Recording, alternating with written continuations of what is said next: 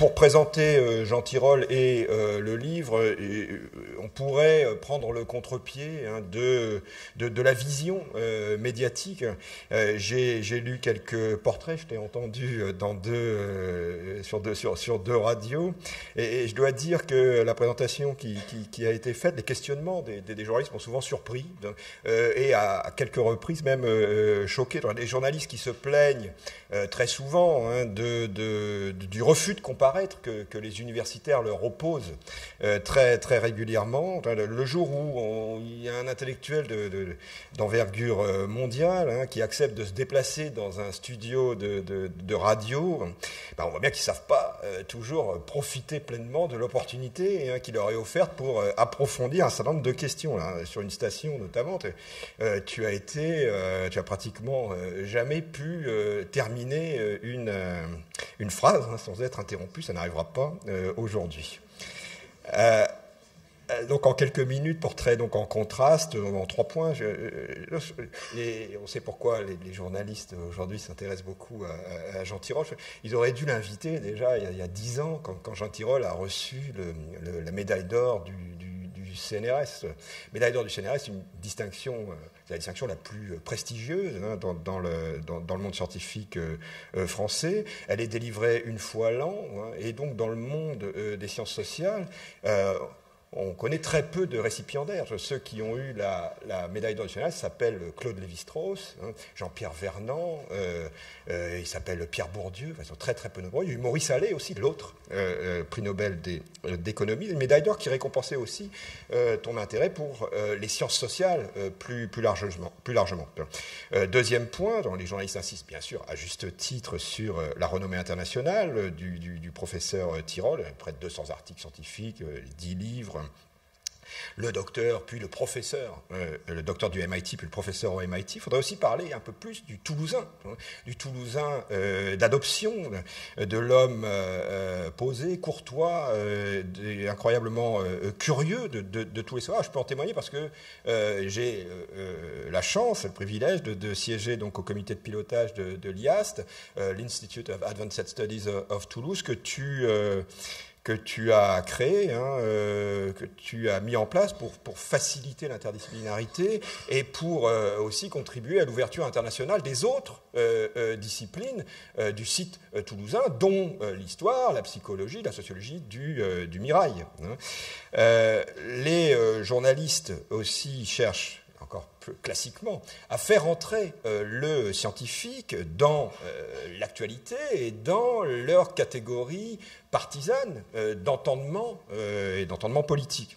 Alors, les journalistes, hein, pense là encore à une station du, service public, un, journaliste par ailleurs euh, euh, très très estimable euh, d'alternative économique, te présente comme le défenseur hein, des, préconisations du, du, MEDEF, puisqu'en effet, on va y revenir, tu plaides pour un État plus modeste, pour un contrat de travail unique, mais à ce jeu-là, hein, on pouvait aussi citer tout autant d'exemples dans ton livre euh, d'affirmations qui pourraient être assimilées euh, au parti de gauche et même parfois euh, aux gauchistes. Hein. Quand tu écris par exemple que l'enseignement supérieur repose sur un vaste délit d'initiés, hein, que les gains sont parfois privatisés après que les pertes ou les investissements ont été socialisés, que des parachutes dorés ont récompensé les sous-performances de, dirigeants, ou encore, hein, je cite toujours, que les migrants sont plutôt une chance pour un pays, y compris pour ses salariés, une conclusion qui euh, n'a manifestement rien d'une évidence pour les dirigeants, y compris pour euh, notre actuel Premier ministre socialiste.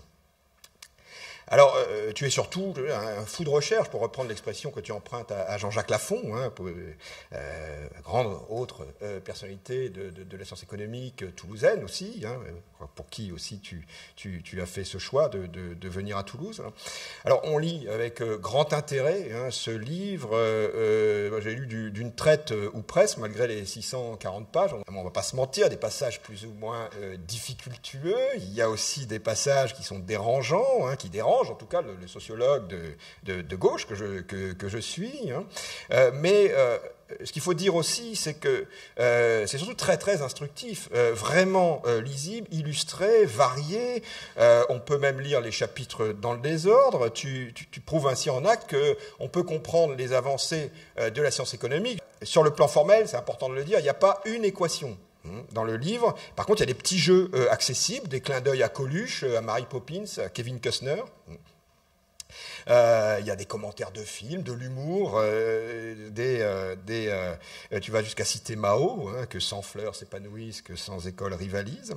Et on entrevoit bien aussi en filigrane à la lecture de, ce livre l'enseignant, hein, le, pédagogue Jean, Jean Tirole. Donc ce livre qui est surtout un exercice donc très réussi de, valorisation, hein, plutôt que de vulgarisation, de valorisation de la recherche en sciences économiques et un formidable outil euh, de, discussion pour lancer hein, finalement le débat euh, à un an, euh, presque jour pour jour, de l'élection présidentielle. On peut ne pas être d'accord, hein, bien sûr, peu importe au fond.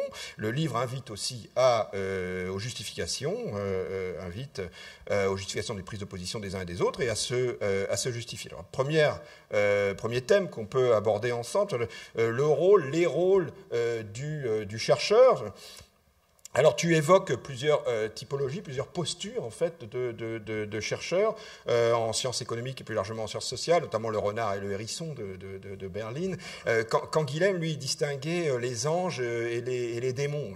Les anges sont les, mathématiciens justement, les mathématiciens qui peuvent rester dans la noblesse du ciel des, des idées. Et puis alors contre-exemple c'est le sociologue qui est donc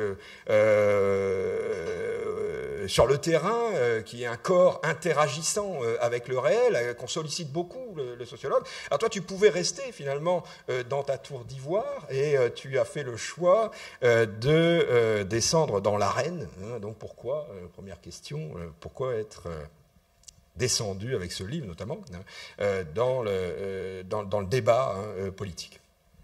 Bah, D'abord, merci Eric, merci pour cette très gentille présentation, et puis aussi d'animer ce débat. Je crois que ta présence va être extrêmement utile. Puis merci aussi, euh, à la médiathèque pour son hospitalité, Ombre Blanche qui organise ça, et puis les PUF, mon éditeur, Marine Salès, est présente ici, représente les PUF. Et merci surtout à, vous tous et toutes d'être là pour, cet euh, échange, parce que j'espère qu'il y aura aussi un échange et que ça ne sera pas simplement une discussion entre Eric et moi. Donc euh, oui, ma vie, c'est la vie d'un chercheur, d'un fou de recherche, comme disait Jean-Jacques Lafont. Donc euh, j'ai passé beaucoup de temps, euh, et je passe toujours beaucoup de temps dans mon laboratoire à la manufacture des tabacs, avec les étudiants et mes, mes collègues, ce qui est ma, ma vraie passion.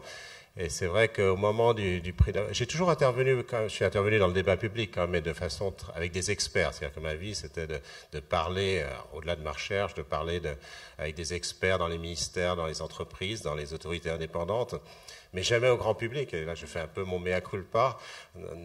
Peut-être parce que c'est pas facile, je l'explique dans le livre, c'est pas toujours facile finalement d'être impliqué parce que il faut euh, rentrer dans la cité et, euh, et effectivement parler dans les médias avec tous les problèmes que, ça peut poser pour un, pour un, chercheur, avec ses doutes, avec, euh, avec la possibilité d'étiquetage, euh, comme euh, ce que disait Eric tout à l'heure. C'est-à-dire que l'idée, c'est de, de, créer une boîte à outils, de réfléchir, de faire réfléchir. Et c'est vraiment important, d'ailleurs, qu'on soit d'accord ou pas, c'est pas important. L'important, c'est de débattre et de débattre des idées.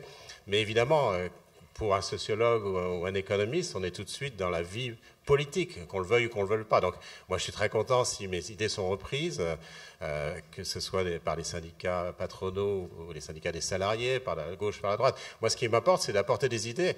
Et puis, ces idées passent, tant mieux. Euh, mais c'est pas mon travail. Mon travail, c'est pas celui d'un politique. Il faut que je fasse très attention à rester dans mon élément, qui est le travail d'un chercheur, et de dire, en gros, euh, ce que, ce que à l'instant T, ma, recherche m'a appris. Et puis je peux me tromper, mais disons que voilà, aujourd'hui, ce, que me, ce que me dit ma recherche, c'est ça. Alors, pourquoi, pourquoi ce livre? Bah, Tout simplement parce que, après le prix Nobel, j'ai rencontré beaucoup de gens dans des lycées, dans, dans, les universités, dans les grandes écoles, dans la rue, dans des, dans des rencontres diverses. Ils m'ont dit, ben oui, mais exprimez-vous sur ce que dit votre science. Et donc, là, je me, suis, je me suis un peu forcé. Et puis finalement, je me suis pris un peu au jeu en, disant, ben, c'est peut-être intéressant aussi de partager, et c'est un peu ma responsabilité, euh, de, partager un petit peu euh, ce que j'ai appris. Tu dis que l'économie donc euh, aspire à, améliorer le monde. C'est le but de l'économie pour toi. C'est un peu effectivement la, raison d'être euh, d'un chercheur. C'est pas seulement un économiste. Toi, en tant que sociologue, euh, politologue aussi, tu l'as les deux. Euh, tu essaies aussi de rendre le monde meilleur. Donc, c'est le bien commun. Donc, ce qu'on remarque, évidemment, on, vit aujourd'hui dans une société de marché dans pratiquement tous les pays au monde. Et c'est société de marché a tous les avantages des marchés, mais aussi tous les inconvénients. inconvénients. Donc, il y, a, il y a des défaillances du marché. Et c'est important que l'État corrige ces défaillances du marché. Donc, qu'il participe au bien commun, les intérêts individuels n'étant pas toujours en phase avec l'intérêt général, euh, que je prends comme étant le bien commun. Euh, à ce moment-là, l'État doit participer et corriger les défaillances de marché. C'est son rôle. Alors, parfois, l'État lui-même est le problème. C'est-à-dire que l'État, au lieu de corriger les défaillances de marché, en fait, est le problème lui-même parce qu'il va à l'encontre du bien commun. On le voit bien dans les décisions de long terme, par exemple. On voit bien que dans des domaines comme le réchauffement climatique, euh, le problème de la dette qu'on laisse à nos enfants, les retraites qu'on laisse à nos enfants, la dette publique, le chômage, l'éducation, euh, tous ces problèmes, les inégalités, on voit que l'État ne joue pas son rôle, qui devrait être un rôle d'acteur de long terme. Évidemment, l'État est dicté par les politiques. Les politiques, je ne jette pas la pierre, eux-mêmes ont leurs échéances, qui sont les, les échéances électorales, dans les élections, qui, sont des incitations à court terme, évidemment. Et donc, ils réagissent, et c'est normal un petit peu, aux, échéances euh, auxquelles ils font face, à leurs incitations. Et parfois, l'État, au lieu d'être justement un facteur de bien commun, va à l'encontre du bien commun, en particulier dans le long terme. Et, en même temps, euh, il y a des, débats au sein même de, la science économique. C'est-à-dire que euh, bon, un des grands intérêts aussi de, ce livre, c'est de réhabiliter le, politique. Hein. et, tu, le dis à plusieurs reprises, euh, il y a des choix de société qui sont faits. En même temps, tu dis que, que, les économistes n'ont pas à être les décisionnaires, hein, apportent euh, leurs connaissances. Euh, euh, mais il y a aussi des accents parfois dans le livre, j'allais dire, de, physique sociale à la Auguste Comte, à côté saint-simonien. Peut-être d'ailleurs tu t'inscris peut-être aussi dans cette tradition, hein, cette glorieuse tradition des ingénieurs des ponts et chaussées, grand corps de l'État dont tu es aussi. Et, en même temps, donc on sait qu'il existe euh, des, débats au sein même de la science économique et que ce pluralisme euh, de la science économique est nécessaire, euh, sans doute. alors, quelle est ta position sur, cette question? Est-ce que l'économie peut vraiment se revendiquer comme science exacte? Dans quelle mesure? Jusqu'où? Hein? Et est-ce qu'il n'est pas important, hein, justement, qu'il y ait des débats aussi entre économistes? Eux-mêmes alors, il y, a, un peu deux questions dans, ta question. C'est, la première, c'est est-ce que l'économie est une science? Et à mon avis, la réponse est oui. Est-ce que c'est une science exacte? La réponse est non. Donc, c'est une science dans la mesure où euh, l'économiste va faire des hypothèses, va expliciter ses hypothèses, va construire un modèle qui est toujours une, simplification importante de la réalité. C'est un peu la substantifique moelle euh, qu'on essaie de, prendre dans un modèle. Et donc, elle fait des hypothèses, des hypothèses qui sont réfutables, hein, qu'on peut aimer ou ne pas aimer. Donc, ça, c'est bien explicité. Après, elle utilise la logique pour arriver à des conclusions. Ces conclusions peuvent servir soit la stratégie d'entreprise, soit la politique publique, soit d'autres choses. Donc, on a des conclusions. Et puis, évidemment, il y a un retour par l'empirique, parce que le modèle ne vaut que ce qu'on met dedans. Donc, il y, a, la logique pour vérifier euh, le raisonnement. J'aime beaucoup euh, cette phrase de Danny Roderick, un collègue de Harvard, qui dit euh, Nous, on utilise des modèles, on utilise des mathématiques, non pas parce qu'on est intelligent, mais parce qu'on n'est pas intelligent. On est juste assez intelligent pour comprendre qu'on n'est pas intelligent et qu'on se trompe souvent dans notre logique. Et donc, euh, l'idée, c'est qu'on on arrive à des conclusions logiques à partir des hypothèses, hein, et après, on teste ça. Il y a trois façons de tester. La première, c'est d'utiliser des données historiques quand on en a. Donc on fait ce qu'on appelle l'économétrie, qui est de la statistique appliquée à l'économie.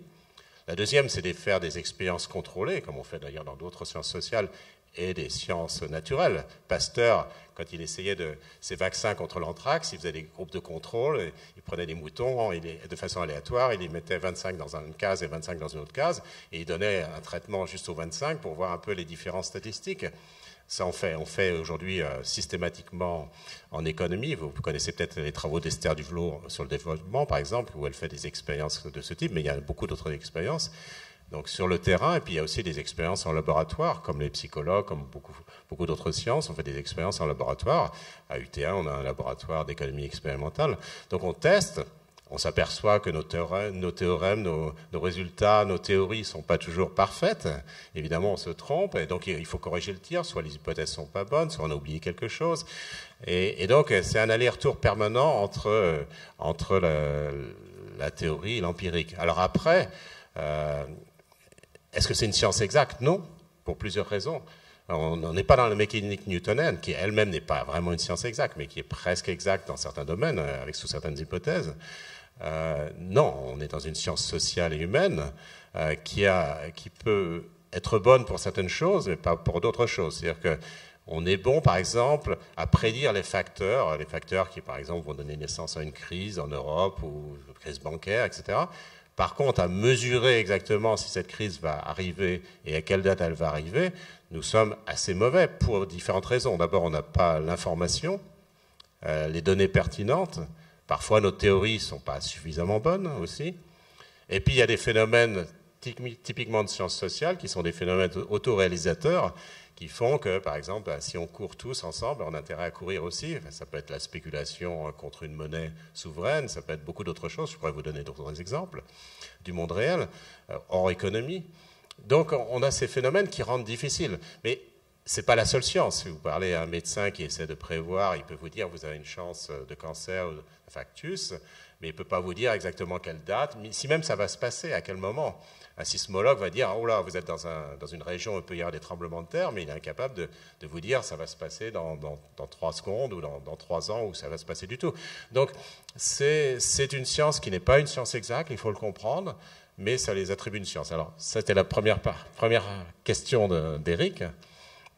Ta deuxième question, c'était un petit peu sur, euh, je ne sais pas si tu veux reprendre. Oui, c'est sur le, sur la science économique aussi aujourd'hui occupe de fait euh, historiquement et socialement une position toujours plus dominante hein, au, sein des, des, sciences sociales et à l'intérieur même de la science économique qui reste un champ euh, de, de, lutte. Bon, ben, il y a des paradigmes qui sont en opposition et donc le paradigme de l'individualisme méthodologique notamment va distinguer des, économistes orthodoxes des des autres qui revendiquent aussi leur place au, soleil de, de, l'économie et avec lesquels il est important aussi de, débattre.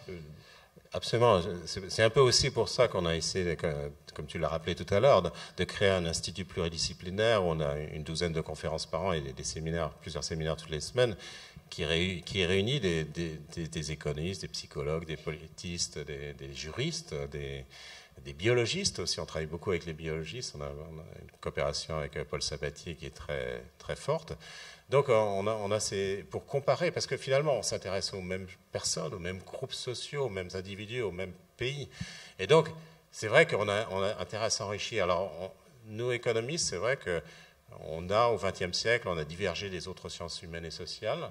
On s'est construit notre paradigme d'une certaine manière, mais en, s'appauvrissant. C'est-à-dire que la, science économique est plus pauvre euh, qu'elle l'était au début. Alors, elle est plus forte dans certains domaines, c'est-à-dire qu'elle a fait énormément de progrès dans le sens explicatif, dans le sens euh, normatif, mais par contre, elle s'est appauvrie. Alors, par exemple, en psychologie, ça c'est clair.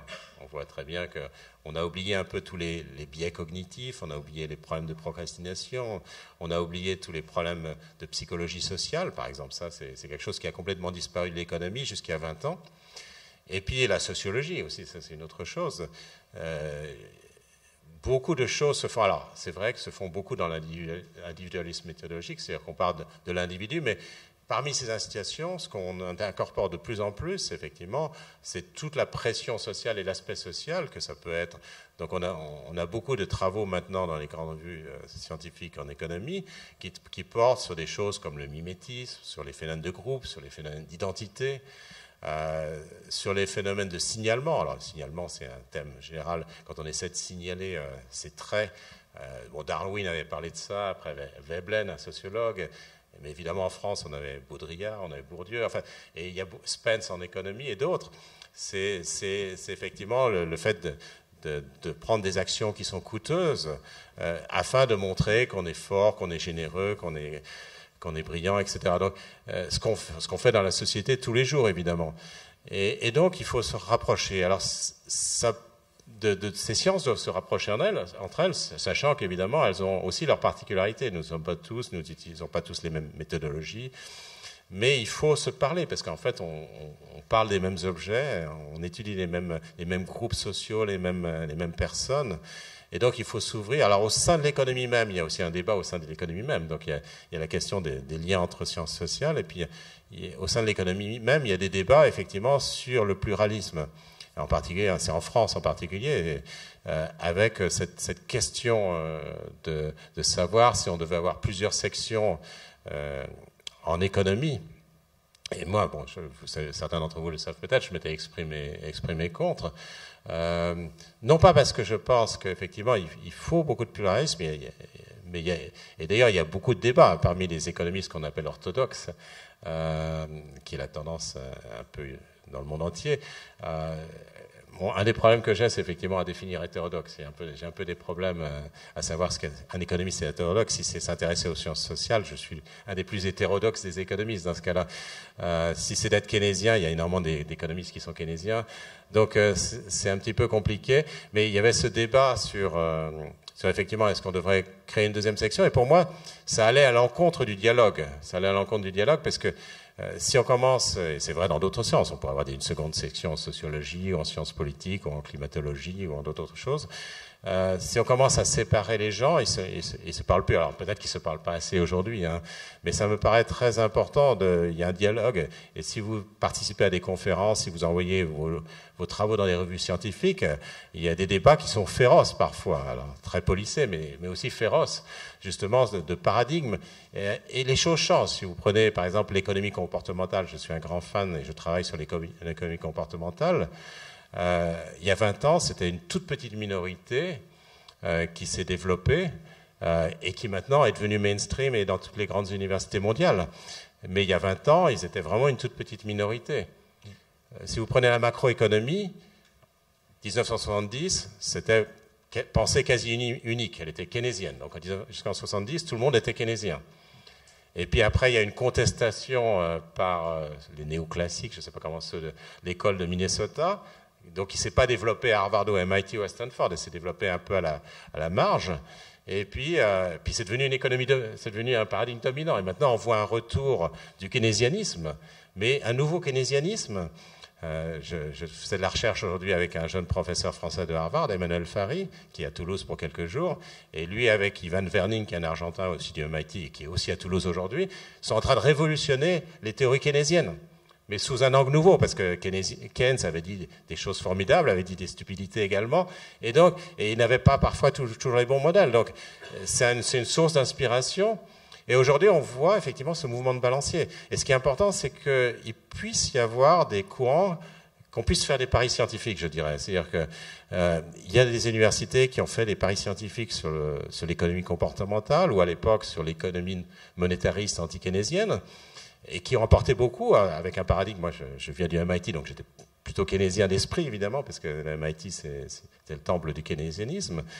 Euh, mais ils ont apporté, quelque chose, ils ont apporté une nouvelle méthodologie, ils ont apporté des réflexions, ils ont monté les limites du keynésianisme. Et maintenant, c'est en train de se reconstruire. Donc, euh, il faut qu'on puisse faire des paris scientifiques, et ça me paraît tout à fait normal.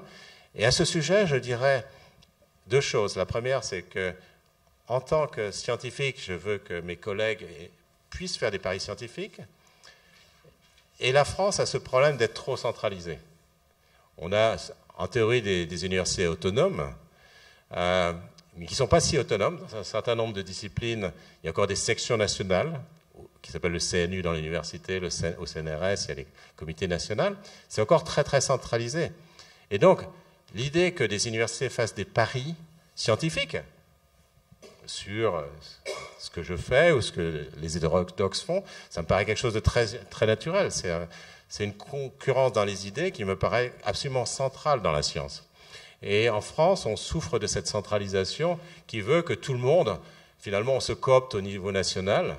Et je trouve ça assez dommage parce que du coup, on a des phénomènes majoritaires Et ces courants scientifiques dont je parlais, par exemple le courant monétariste ou le courant comportementaliste, auraient, eu du mal à émerger dans un, dans un système centralisé, majoritaire et c'est un, petit peu dommage.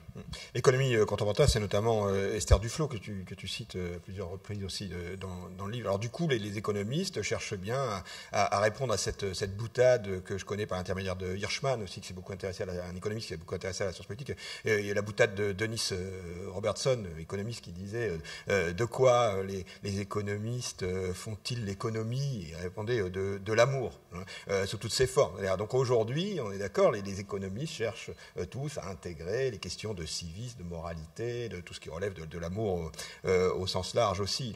alors, une autre question, euh, plutôt un point que je voulais, profiter un peu de, euh, l'événement hein, pour, pour, pour évoquer ces nouvelles missions hein, qui sont aujourd'hui imposées aux, enseignants-chercheurs. Il y a une très belle formule, tu dis euh, qu'on ne demandait pas à, Adam Smith de faire des prévisions, de rédiger des rapports, de parler à la télévision, de tenir un blog et d'écrire des manuels euh, de, vulgarisation. C'est aussi un point qui, est important. C'est euh, les dangers aussi aujourd'hui qui pèsent sur le, métier, hein, euh, avec toutes ces missions nouvelles, et, notamment la, bureaucratie universitaire. Bon, mais je pense que on est, tous d'accord là-dessus. deuxième thème, peut-être, autre question que tu as, évoquée, c'est la question que pose la reine d'Angleterre. Euh, à propos de la crise de, 2008 que tu as mis en exergue du, chapitre, euh, euh, pourquoi personne n'a rien vu venir? Notamment les, économistes. Hein. les économistes euh, dont tu disais qui, qui font profession euh, de faire des prévisions, hein, euh, notamment. alors, quelles sont les causes hein, finalement de, cette, crise de, 2008 et, donc pourquoi bah, les économistes n'ont pas, su voir venir cette, crise? Je me trompe peut-être, peut-être certains l'ont vu. Alors oui, il y a certains qui l'ont vu, mais il faut toujours se méfier des, des gens qui prédisent, parce qu'il y en a qui prédisent une crise tous les ans.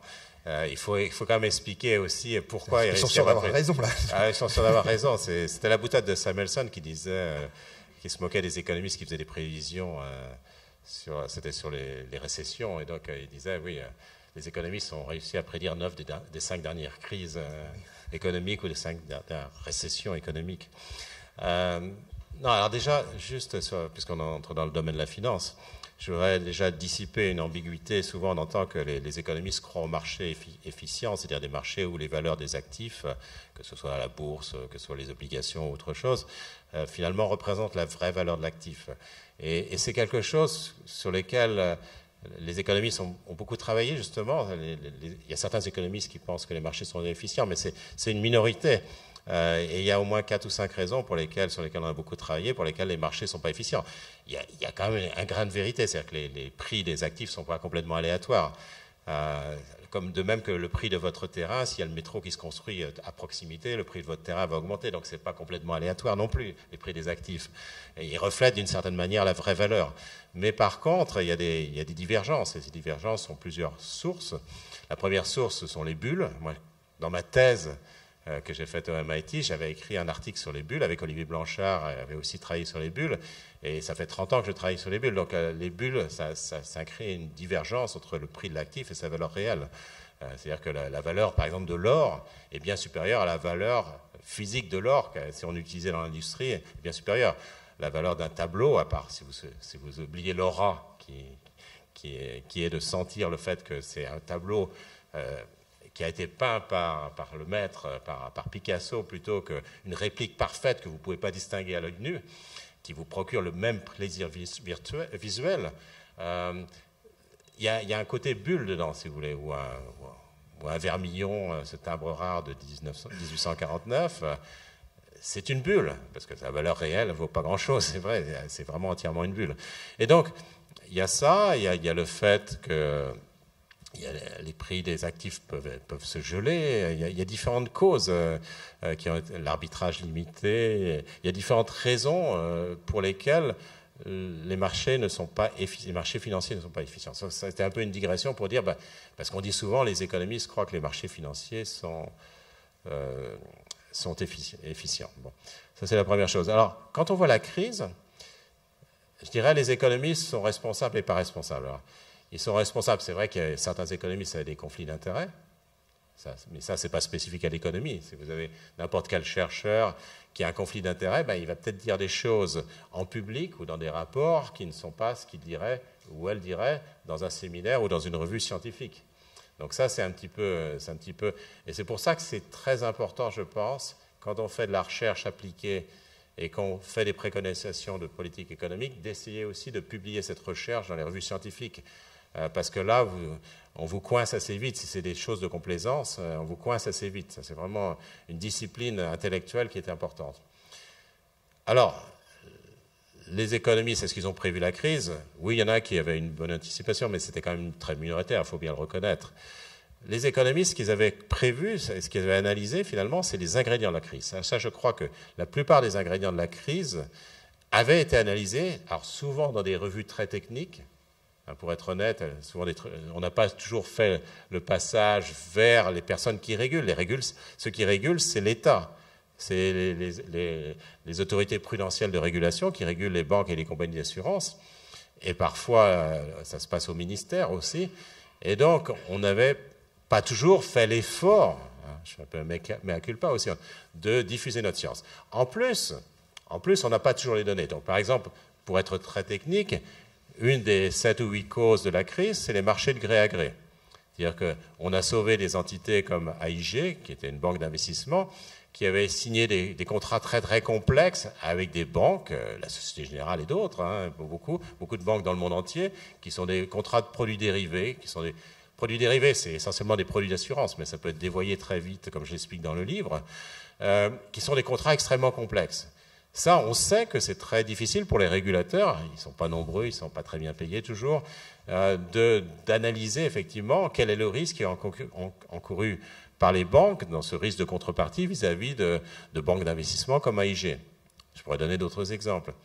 Donc là, on, savait que c'était dangereux, mais personnellement, je peux vous dire que je n'avais aucune idée des, grandeurs, de la, taille des expositions. C'était faramineux. De même, les banques s'amusaient à titriser et à créer ces fameux conduits. Alors, je ne vais pas rentrer dans le détail des conduits, mais c'est des entités à qui elles donnaient des lignes de liquidité elles gardaient le même risque si elles avaient à garder ces, titres euh, immobiliers, par exemple, sur leur bilan, mais les exigences en capital, ce qui permet d'assurer de créer un coussin contre, pour, la collectivité, contre le risque de défaillance de, la banque, euh, étaient diminuées par 10. Donc c'était une faillite de la régulation. Et c'était à une taille massive. C'est-à-dire que, effectivement, les banques ont abusé de ça. Et je pense que les gens qui sont dans leur tour d'ivoire, ou qui étaient dans leur tour d'ivoire comme moi, n'avions aucune idée. Il y avait des régulateurs, il y avait deux, personnes, deux groupes qui savaient. Il y avait les régulateurs, qui ont, ils savaient encore qu'à moitié parce que c'est des choses très opaques. Et il y avait effectivement quelques économistes qui étaient impliqués, mais qui, eux, parfois avaient des conflits d'intérêts. Donc, finalement, on avait une information asymétrique, et ça, le thème de l'information est très important dans le livre. Il y a une information asymétrique qui rendait très difficile la régulation. Euh, AIG euh, et les Man Brothers, euh, ils ont, fait, ils, ont fait, faillite pour le coup. AIG a été sauvé, les Man Brothers, les, Man Brothers, on a fait faillite et AIG est arrivé un ou deux jours plus tard. Et là, ils ont arrêté les dégâts, ils ont dit on va sauver AIG. Mais regardez le scandale que ça, pose quand même. C'est-à-dire qu'on a sauvé les banques d'investissement américaines qui n'étaient pas, qui pas régulées. D'habitude, on sauve éventuellement des banques qui sont des banques régulées. Mais là, les banques d'investissement, elles avaient le beurre et l'argent du beurre. C'est-à-dire qu'elles n'étaient pas régulées, donc elles n'avaient pas toutes les contraintes, mais en même temps, elles ont disposé de l'argent public, au moins en espérance mathématique. Au moment où elles ont été sauvées, on les a aidées, donc elles ont eu la liquidité de la Banque centrale, elles ont eu des, renflouements, alors qu'elles n'étaient pas régulées. Donc on peut, discuter, parce qu'une partie des réformes, c'est justement essayer de faire en sorte qu'on fasse que, les banques qui ne sont pas régulées, euh, le shadow banking, ça s'appelle le shadow banking, les banques de l'ombre ne puissent pas avoir accès à l'argent public. C'est quand, même, quand même quelque chose de base. Alors du coup, tu n'es pas si éloigné du manifeste des économistes euh, atterrés, qui, pour eux, les racines de la crise de 2008, c'est la finance libéralisée, la mondialisation euh, débridée et le creusement des, inégalités. Alors, c'est trois sujets différents. Hein. Oui, oui, euh, sur la finance débridée, oui, ce qu'il faut, c'est-à-dire que tout dépend. Si Warren Buffett veut jouer avec des produits dérivés, qui peuvent, encore une fois, ce sont des produits d'assurance, pas de problème, c'est son argent. Quand ça commence à toucher à l'argent des déposants, des assurés, enfin, et éventuellement des futurs retraités s'il y a des fonds de pension comme en Hollande, aux États-Unis ou ailleurs, là, ça devient plus grave parce qu'ils sont en train de jouer avec l'argent des, petits déposants ou des, assurés. Euh, et, finalement de l'État, parce que l'État vient toujours à la rescousse, la plupart du temps revient à la rescousse. Et donc, donc là, du, risque systémique, euh, de toute façon, il y a l'État qui vient. L'État va venir, euh, soit pour éviter un risque systématique et effectivement des effets de domino sur les, autres banques, soit simplement pour sauver euh, les petits déposants, soit pour sauver l'accès des PME euh, aux banques, parce qu'il y, a un savoir spécialisé des banques vis-à-vis des PME. Si la banque fait faillite, les PME vont souffrir. Mais je dirais, sur la crise de 2008, je voudrais insister sur ce fait, c'est une défaillance de l'État. On présente ça souvent comme une défaillance du marché. Moi, je dirais, certaines banques peu scrupuleuses se sont engouffrées dans les, brèches de la régulation et dans cette mesure, c'est une défaillance de l'État. C'est l'État qui n'a pas joué son rôle et qui a laissé cette, finance se développer et faire prendre des risques finalement aux contribuables. aux États-Unis, ça n'a pas été très grave finalement, puisque les États-Unis sont redressés. Il n'y a pas eu tant d'argent perdu que ça. Mais quand on regarde l'Espagne ou quand on regarde l'Irlande, on voit les conséquences que ça a pu avoir d'abord sur les contribuables et puis après, très vite, sur les populations qui ont souffert à cause de, ces excès.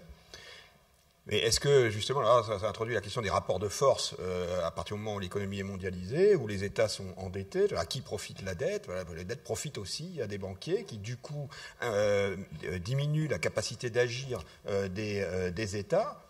Et, et, cette régulation devient d'autant plus compliquée que, de fait, on est peut-être, euh, enfin les, politiques en tout cas, sont euh, euh, contraints par, par l'économique, par le pouvoir économique, par les multinationales, par ces grandes banques. Alors moi, je, dirais, je dirais que c'est les, États qui se mettent dans cette situation. C'est-à-dire que l'endettement public est, un choix, un choix fait par les politiques qui sont... Prenons la France. La France, dans les Trente Glorieuses, il y, avait très peu de dettes publiques, il n'y avait d'ailleurs pas de chômage, et, il y avait des dépenses euh, des administrations qui étaient relativement faibles. On était à 35% des dépenses des administrations publiques, maintenant on en est à 57%. Donc il y a, eu un choix de l'État, et ça n'a rien à voir avec le service public.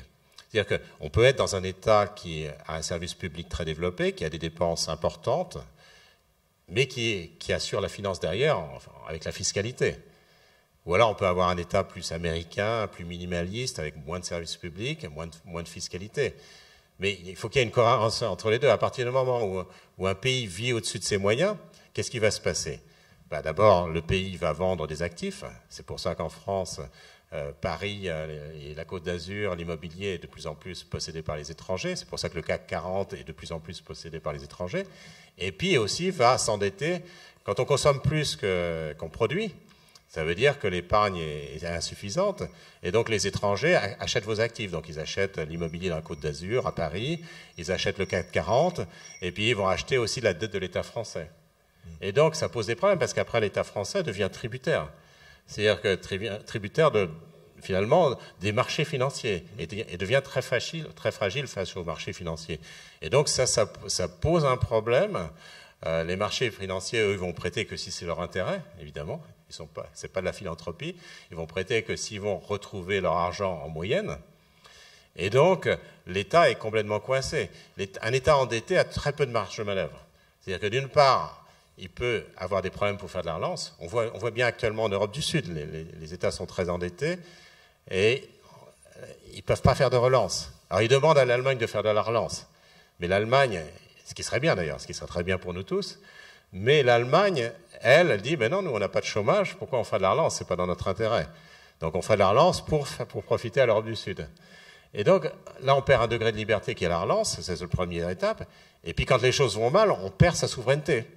On perd sa souveraineté parce que deux choses l'une, ou bien on fait défaut sur la dette, et dans ce cas-là, ça veut dire qu'on équipe son budget du jour au lendemain. La Grèce a, vraiment beaucoup souffert depuis 2010, mais il faut se rendre compte que s'il n'y avait pas eu le FMI, la Troïka, la Grèce aurait souffert encore plus. Ça, peut vous paraître contradictoire, mais ça veut dire qu'en 2010, au lieu d'aller vers un équilibre budgétaire primaire, c'est-à-dire sans la, charge, le remboursement de la dette, en 5-6 ans, la Grèce aurait dû y aller du jour au lendemain, parce qu'elle aurait pu accès au, marché financier. Et donc la Grèce aurait souffert encore plus. Alors, je voudrais défendre un petit peu le FMI ici. Je ne veux pas défendre toutes les politiques du FMI, mais souvent... Ce sera difficile sur la politique ça, ça, sera, africaine. C'est pas, toujours facile. Mais je voudrais dire, aucun pays n'a besoin, n'est obligé d'avoir recours au FMI. Le pays, c'est toujours le pays qui demande d'avoir recours au FMI. Pourquoi? C'est-à-dire que le, pays ne peut plus s'endetter, les marchés financiers n'ont pas confiance. Et qu'est-ce qui se passe à ce moment-là?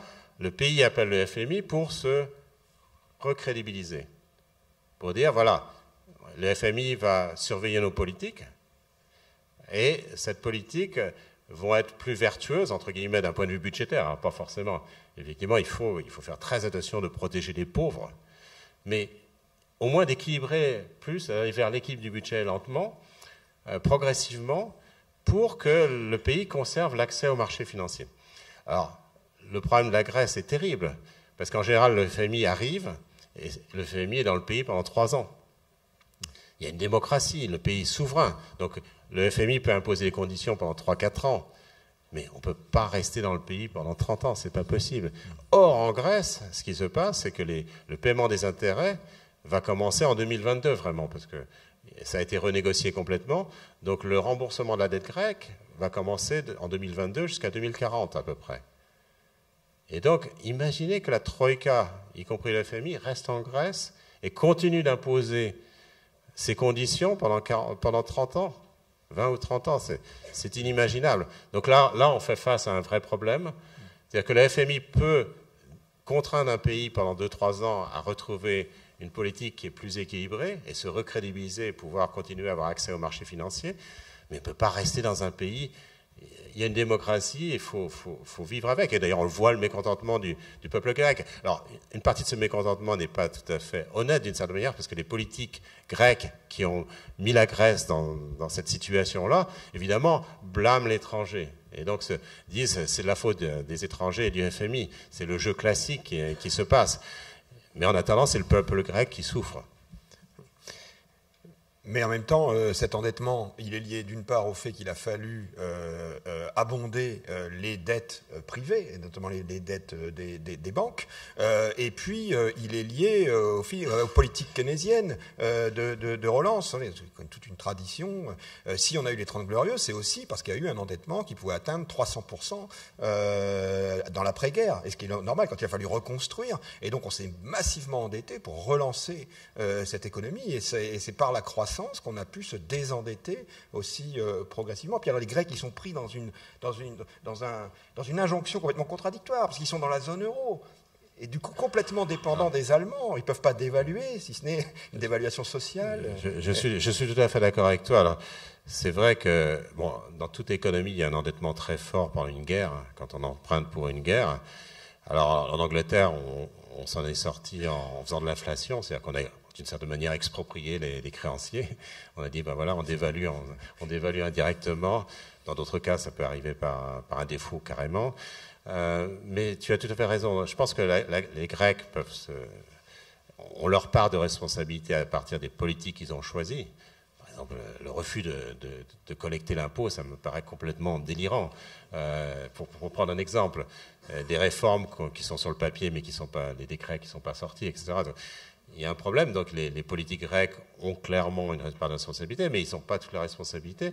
Et une partie du problème, c'est que personne ne veut investir en Grèce aujourd'hui. Donc l'investissement n'est plus là. À partir du moment où il n'y a plus d'investissement, c'est vrai qu'on ne crée plus d'emplois, il n'y a plus de richesses qui sont créées, et, c'est un problème.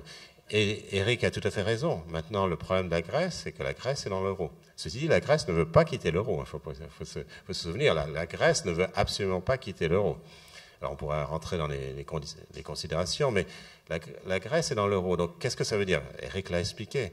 C'est-à-dire que si euh, vous êtes dans l'euro et que vous n'êtes plus compétitif, qu'est-ce qui se passe? Ben, Ça veut dire que vous ne vendez plus, vous exportez plus, vous continuez à importer, et in fine, vous avez un déficit de la balance commerciale, ça veut dire que vous endettez. Donc on revient dans ce cercle dans lequel on vend ses actifs, on vend ses actifs, euh, son industrie, on, émet de la dette publique euh, qui est achetée à l'étranger, etc.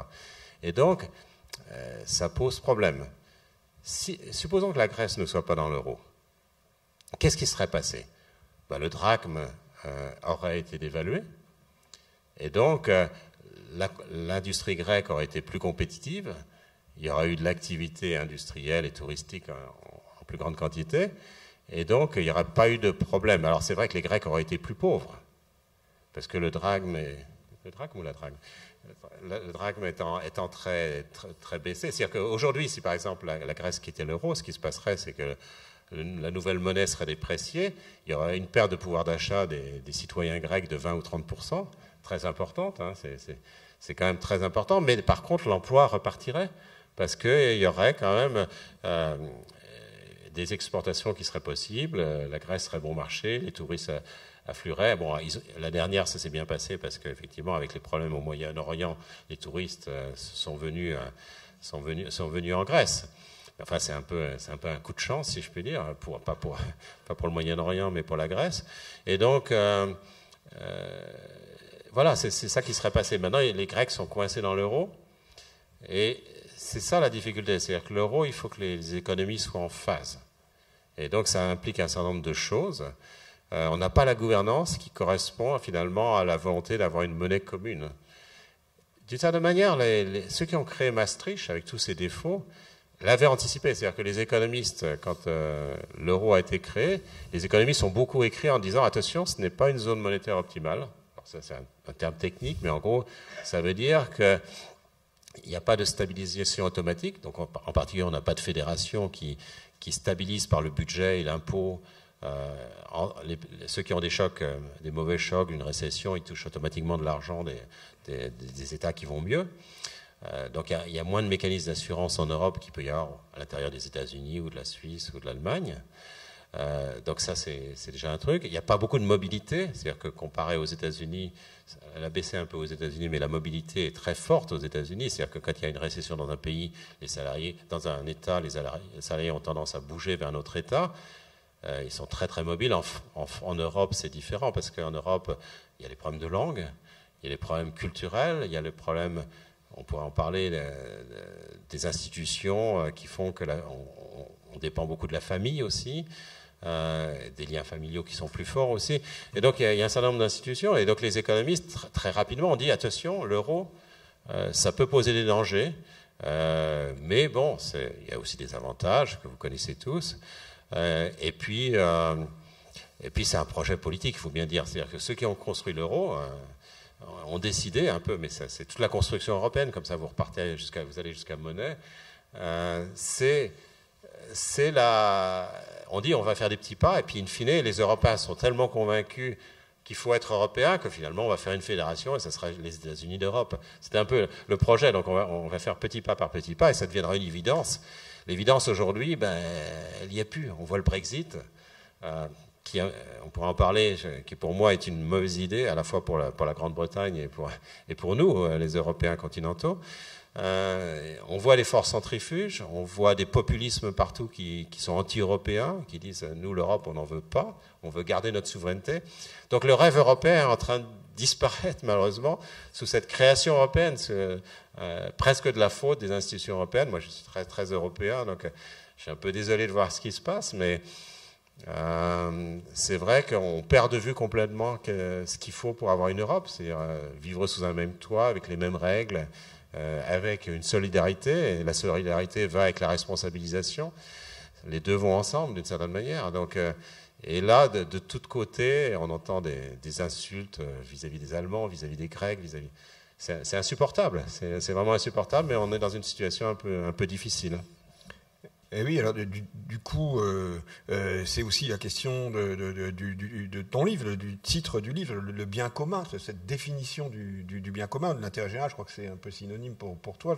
elle, se, elle dépend du, niveau où on se place. À partir du moment où on crée l'Europe, on place le bien commun économique au niveau européen. C'est-à-dire qu'on part du principe qu'on essaie de faire une zone de paix sociale, de, prospérité au niveau européen.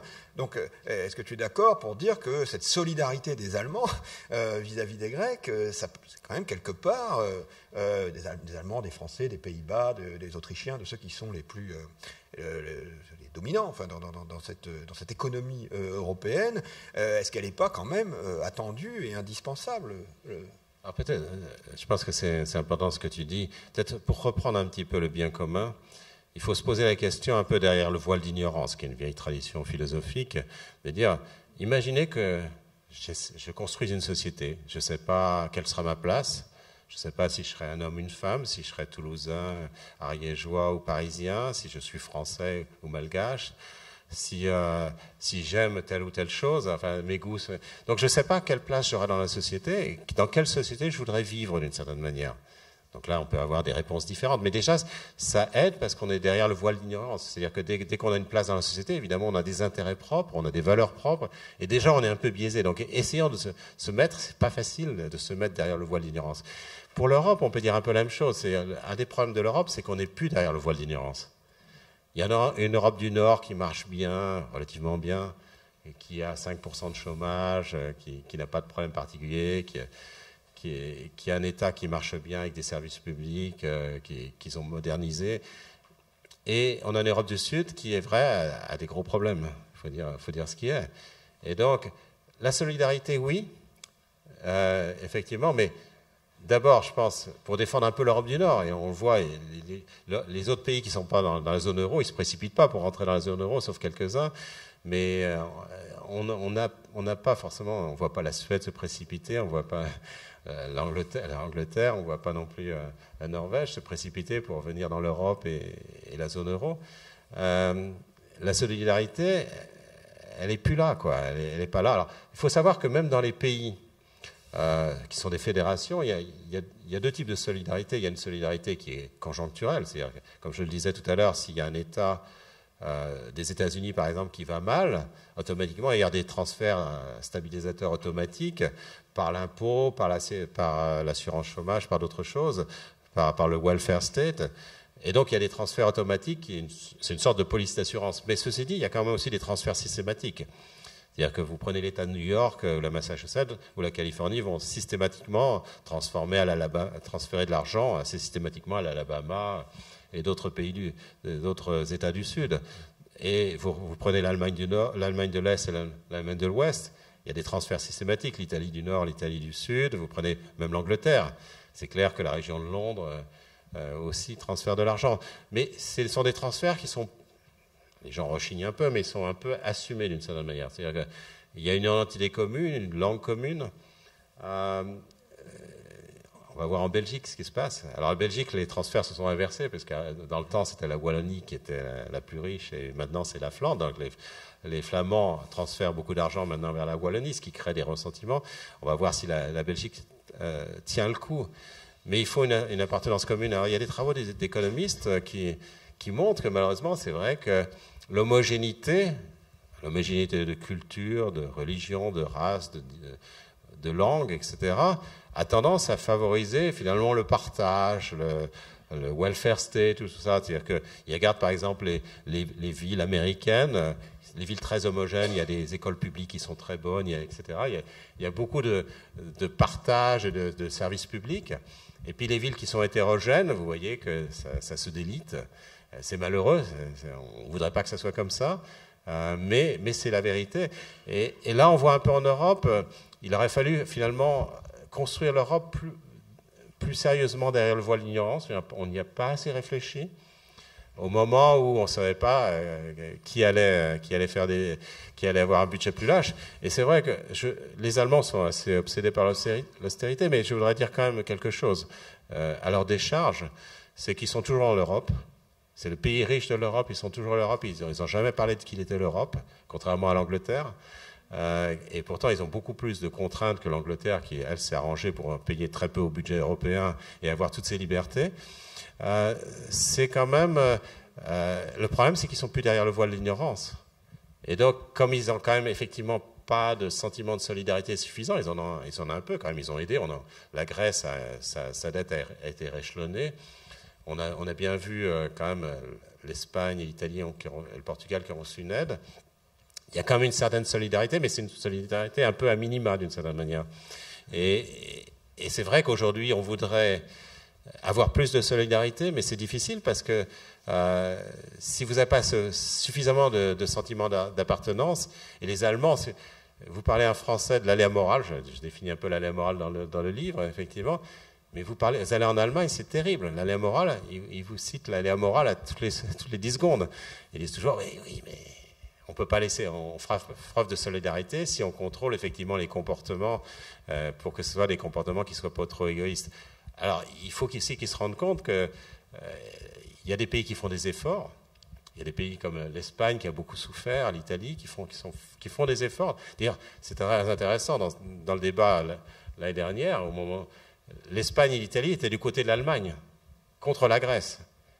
C'était ils ont dit, nous, on fait des efforts, on a fait nos efforts, et euh, voilà, il faut que ces pays, euh, finalement, on les aide à, s'en sortir, c'est la construction européenne, mais il faut changer les institutions. Et, pour moi, un État fédéral, c'est un État que j'appelle de mes voeux, c'est un État où euh, il y aura des règles communes, mais il faut perdre sa souveraineté. là, on va exactement dans le sens contraire. C'est-à-dire qu'aujourd'hui, partout en Europe, en particulier les mouvements populistes, disent nous on est français, nous on est espagnol, nous on est grec, on est allemand.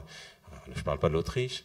C'est terrible, c'est terrible. Il n'y a, plus de sentiment européen et les gens veulent, oui, ils veulent bien l'Europe, mais à condition qu'ils gardent absolument toutes leurs prérogatives, pas leur souveraineté et qu'ils fassent ce qu'ils veulent finalement. Et c'est pas ça une nation européenne.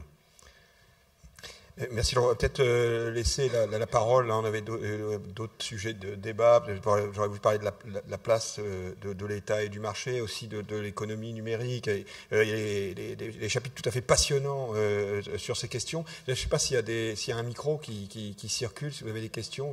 sur cette question de, l'homogénéité culturelle qui précéderait donc le, l'intérêt commun ou le bien commun, la définition de l'intérêt général. Il y a aussi beaucoup de contre-exemples. Je ne connais pas cette étude que j'ai vue dans, ton livre d'économiste, mais bon, euh, il y a tellement de contre-exemples, ne serait-ce que les États-Unis, la, superpuissance par excellence, qui est pour le coup un syncrétisme de culture euh, euh, complètement différente et qui est un exemple de, réussite économique et pour le coup de patriotisme réussi à, à tous les niveaux. Oui, bonjour. Euh, dans un entretien à un journal que vous avez accordé à, la suite du livre, euh, à un moment donné, on vous a demandé ce que vous pensiez par rapport au chômage en France de la solution que certains préconisent qui s'appelle le partage du travail. Et je dois dire que dans l'entretien que vous avez accordé, vous avez dit deux mots très rapides et j'aimerais que vous en disiez plus parce qu'apparemment vous semblez contre. Oui, je, suis contre, mais je voudrais expliquer évidemment euh, euh, pourquoi. Parce que c'est euh, la base intellectuelle du partage du travail, c'est l'idée que la, masse, de travail est fixée dans l'économie. Et c'était un peu vrai autrefois, parce que c'est Malthus qui a parlé ça au XIXe siècle, où les travailleurs, c'était des, paysans qui travaillaient la terre, et donc la terre était en quantité finie. Et donc, euh, comme la terre était en quantité finie, si on, pouvait partager le travail en partageant la terre. Et, donc, la, théorie marchait tout à fait. Maintenant, euh, aujourd'hui, euh, les, salariés peuvent aussi travailler de façon avec des, nouveaux équipements ou des nouvelles usines. Alors, ça prend parfois du temps, mais il n'y a pas de, quantité de travail fixe. Et là, cette, idée du partage du travail, par exemple par les 35 heures ou d'autres, euh, je voudrais préciser tout de suite que l'économiste n'a absolument rien à dire si on devrait travailler 18 heures, 35 heures ou, 54 heures. C'est pas notre travail, c'est un choix de, société et c'est un choix des individus aussi. Je pense que on a des préférences tous différentes sur, sur le sujet et donc c'est normal qu'il y ait une certaine liberté sur le sujet. Alors ça, c'est un truc. Qu'est-ce qui se passe aujourd'hui? C'est-à-dire qu'aujourd'hui, il y a un certain nombre de thèses, et ce n'est pas seulement le partage du temps de travail, est-ce qu'on devrait aller aux 32 heures, par exemple, mais c'est aussi, par exemple, renvoyer les immigrés. Ils nous prennent notre travail. C'est aussi mettre les gens dans une retraite anticipée. Les vieux prennent le travail des jeunes. C'est aussi euh, des tas de choses. C'est aussi les, étrangers qui prennent notre travail en, nous, vendant des biens et services. On, on pourrait réintroduire le service militaire aussi, parce que dans ce cas-là, on résorberait le chômage. Ce que disent les économistes, c'est que ça ne marche pas. Ça peut marcher dans le très court terme.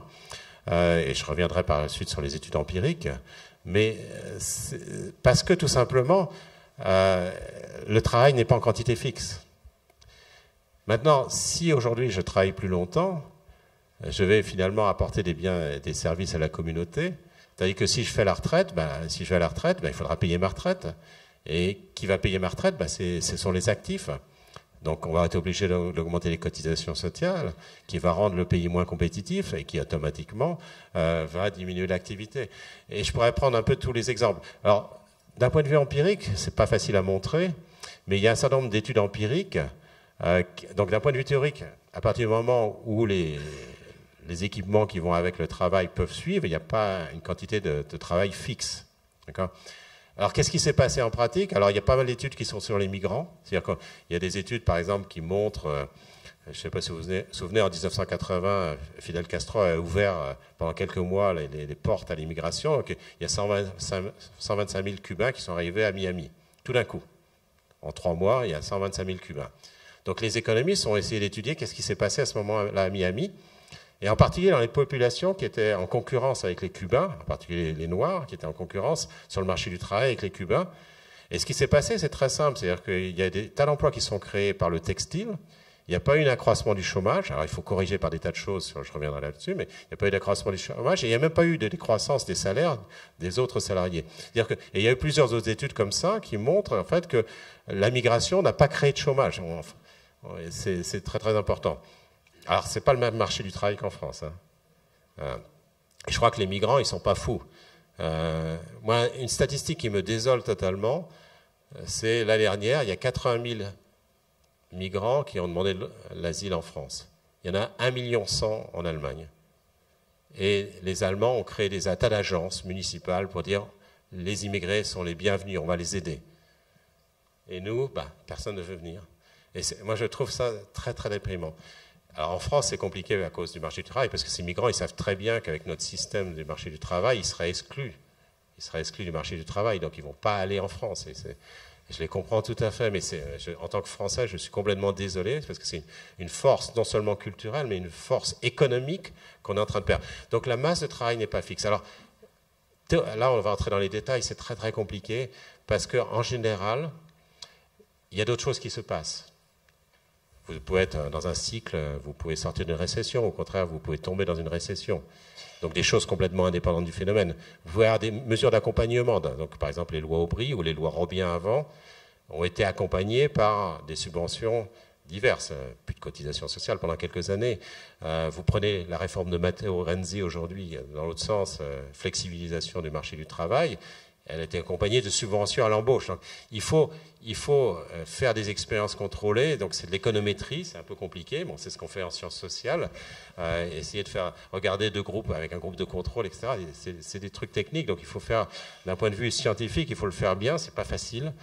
Mais disons que d'un point de vue théorique, il n'y a pas de raison, sauf dans vraiment très très court terme, les choses s'ajustent et la masse de travail n'est pas en quantité fixe. Et d'un point de vue empirique, les, études un peu, pointues d'économétrie montrent que, que ce soit la migration ou euh, la réduction du temps de travail, il n'y a pas qu'en France que ça s'est passé, hein, il y en a eu aussi dans d'autres endroits, n'a pas eu vraiment d'effet durable sur l'emploi. C'est-à-dire que ça n'a pas créé d'emploi.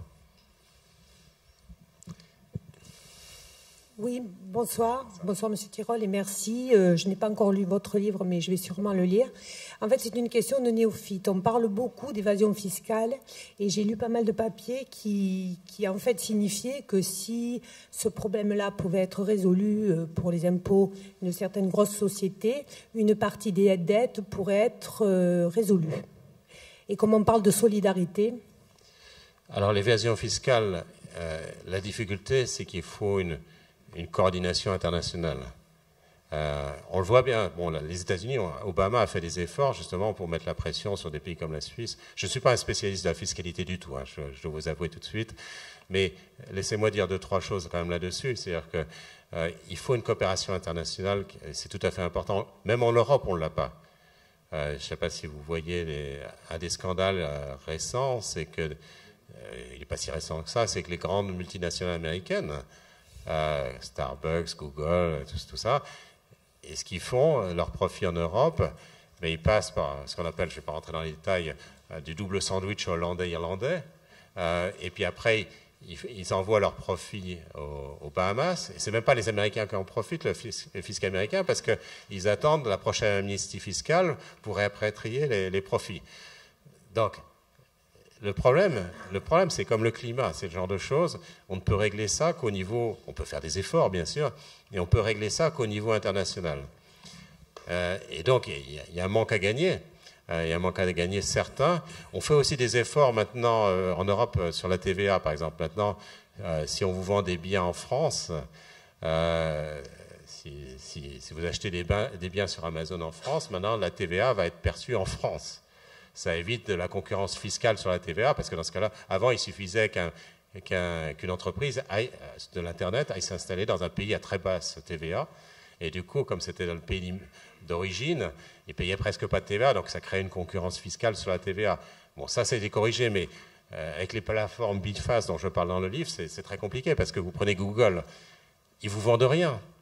En fait, ils achètent vos données indirectement, entre guillemets, en vous donnant des services qui sont très bons d'ailleurs, euh, le service de recherche sur le moteur de recherche et des tas d'autres services que vous utilisez sur Google qui sont, merveilleux.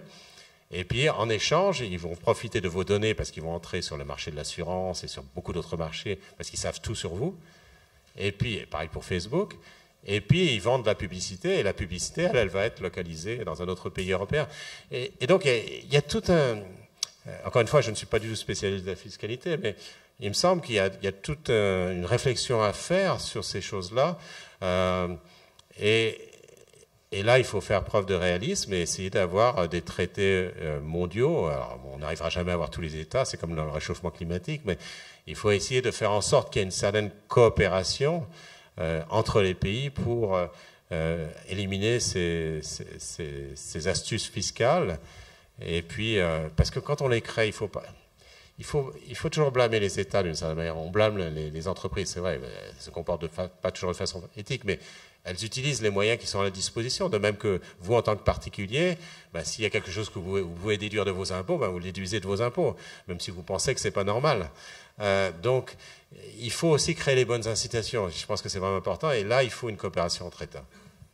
On a l'impression qu'il y a des progrès qui sont faits, euh, là, avec Google hier, avec le, fisc français, mais Margaret Vestager la concurrence européenne est très offensive sur ces questions-là, euh, euh, sur, sur Google euh, notamment. Ils, attendent, je crois, 7 milliards et demi de, d'amendes sur, sur, Google, si, tout se passe Alors, si je peux dire quelques mots sur le droit de la concurrence, parce que c'est, c'est la musique à mes oreilles, comme diraient les anglo-saxons, c'est, c'est vraiment le droit de la concurrence, justement, le fait que ça soit fait par une autorité indépendante.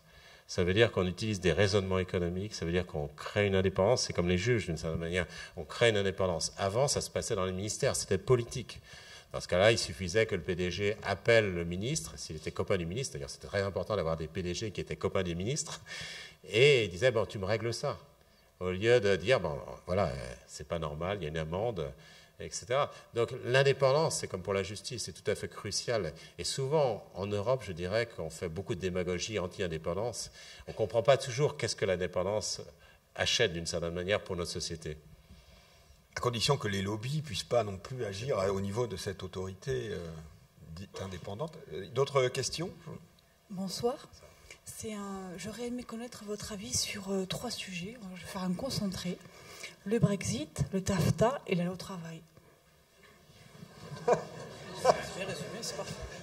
Euh, tu, euh, bah, Peut-être le Brexit, non 19h06. Hein. Alors, le Brexit, euh, le Brexit les gains pour l'Angleterre, c'est une cotisation à l'Europe qui serait réduite. mais elle est déjà très faible parce que les Anglais avaient déjà négocié. Donc ils sont le huitième pays par tête de contribution par tête. Donc ils vont pas gagner grand-chose. Ils vont euh, gagner un petit peu en liberté, mais comme ils ont déjà toutes les dérogations, ils ne vont pas gagner grand-chose de ce côté-là. Ils vont perdre en, commerce. Euh, c'est politique. C'est-à-dire que la plupart des économistes anglais qui ont fait des études disent euh, ils vont y perdre. Alors nous, Européens, on va y perdre aussi. On va y perdre quand même la construction européenne. C'est quand même dommage qu'un grand pays européen parte de l'Europe. On va y perdre en échange. Je pense que c'est vraiment une mauvaise idée. Hein. C'est vraiment une mauvaise idée. Bon, donc je m'arrêterai là sur le Brexit. Euh, sur, le, sur, le, TAFTA et les, négociations bilatérales qui passent outre euh, les décideurs politiques. Alors sur le euh, TAFTA, oui, c'est. Je pense. Aujourd'hui, les négociations, de nouveau, c'est comme la fiscalité, ce n'est pas mon sujet, je ne fais pas beaucoup d'économie internationale. Je fais de l'économie internationale financière, mais pas, pas du commerce. Euh, sur le TAFTA et, toutes ces euh, négociations, euh, ce qui est important de comprendre, c'est qu'aujourd'hui, on a l'OMC.